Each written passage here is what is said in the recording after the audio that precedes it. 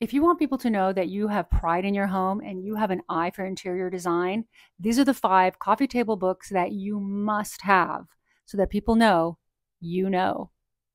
Don't worry, by the way, all of these will be linked in my Amazon storefront under coffee table books, so make sure and save this video. It's very helpful that today is Prime Day, which is why I'm bringing this up. You guys need to purchase these on sale. One of the books I love the most, of course, I have it, and I cannot live without is The Finer Things by Christian Lemieux. This is a book you definitely want to own, and it just also looks great on your coffee table.